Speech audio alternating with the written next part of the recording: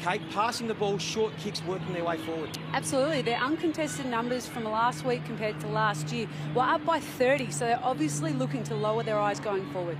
So Eloise Jones, the young 19-year-old, turned down a basketball scholarship in the US to play AFLW, and she gets the Crows off to the perfect start.